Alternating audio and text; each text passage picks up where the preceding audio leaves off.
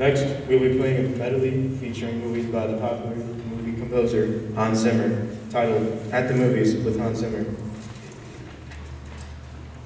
This features music from Man of Steel, Inception, and The Dark Knight Rises, and is arranged by Justin Williams. This will feature a solo by Carly Smith on flute. We'll be presenting our end of the year letter presentation after this piece.